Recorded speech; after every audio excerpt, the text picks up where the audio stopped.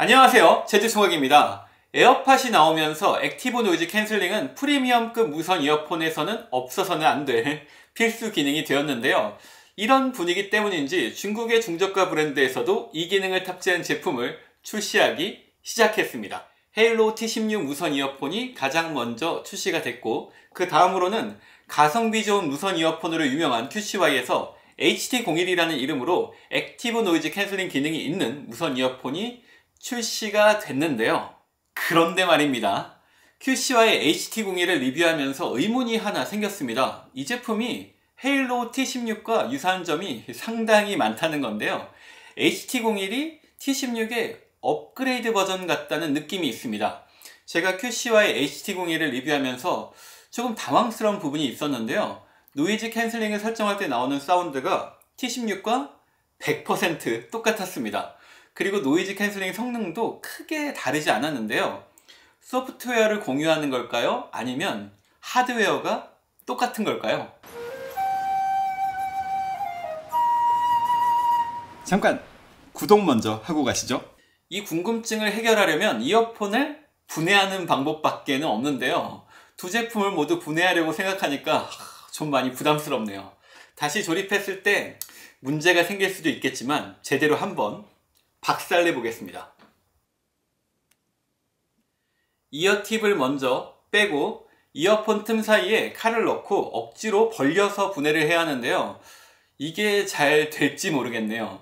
저도 분해가 처음이라 조금 긴장이 되는데요. 칼을 사용하는 만큼 정말 조심해서 분해를 해야 합니다. 제가 반창고를 하나 붙이고 있는데요. 이렇게 될 수도 있습니다.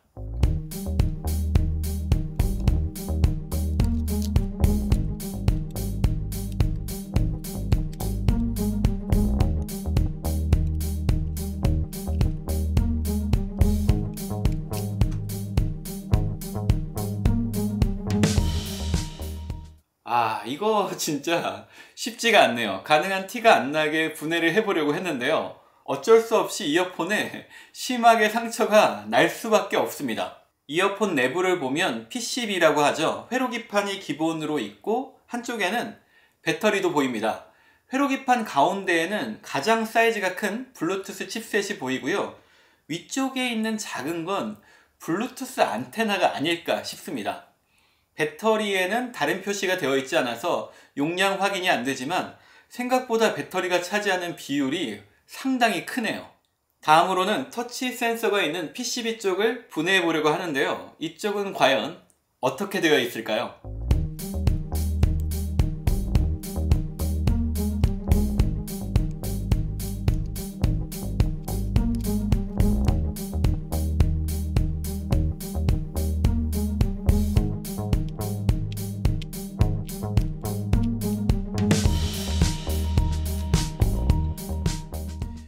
터치 센서가 이런 방식으로 되어 있네요. 센서가 핀처럼 나와 있는데요. 커버를 터치하는 것만으로도 센서가 작동이 된다는 게 너무 신기합니다. 손가락에서 발생하는 정전기를 감지해서 구동이 되는 방식인데요. 이렇게 실제로 보는 건 처음인데 기술이 참 대단한 것 같습니다. 이쪽에는 외부의 소리를 듣는 마이크가 있는데요. 실제로 보니까 진짜 별거 없네요. 이렇게 작은지 몰랐습니다. 마이크가 접착제로 다 덮여 있는데 진짜 소리가 제대로 들어오는 게 맞나 싶은데요. 뭐 active noise cancelling 기능이 작동을 하는 걸 보면 소리가 들어온다는 뜻이겠죠.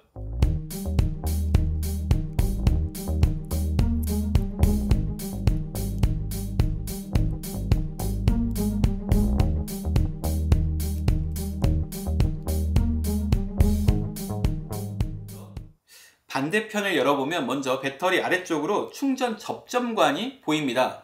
이 부분이 케이스에 있는 충전 침과 맞닿으면서 무선 이어폰이 충전이 되는데요. 옆에 있는 자석이 케이스 충전 부위와 정확하게 맞닿을 수 있도록 도와주고 케이스에서도 쉽게 떨어지지 않도록 해줍니다.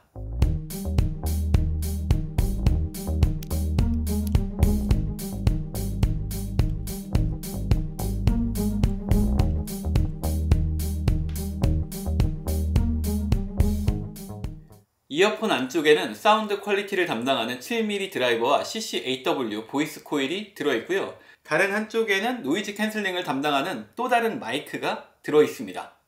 이렇게 보니까 진짜 별거 없네요. 이런 장치들이 모여서 다양한 기능들이 구현된다는 건 조금 신기하지만 하나의 모듈로 구성된 에어팟과 비교해보면 기술 차이가 확연하게 느껴지는 것 같습니다. 이번에는 헤일로 T16을 분해해 보겠습니다. QCY 제품과 과연 어떤 차이가 있을까요?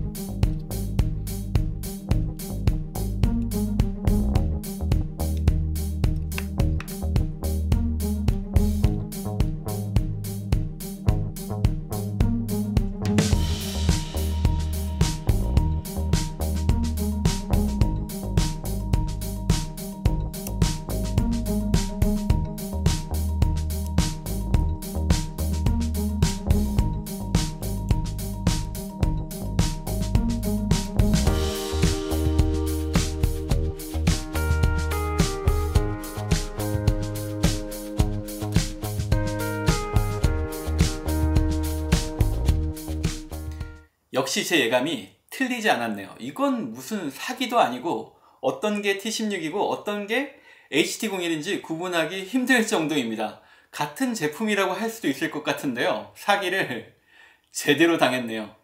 HT01의 성능이 조금 더 좋았던 건 블루투스 칩셋 차이였습니다. 같은 회사의 같은 버전이긴 하지만 QCY 쪽이 조금 더 상위 레벨의 칩셋을 사용하고 있는데요. 딱 이거 하나 차이였네요. QCY HT01에 대한 기대감이 엄청 높았지만 리뷰를 하고 나서 이 제품은 진짜 아니다 싶었는데요.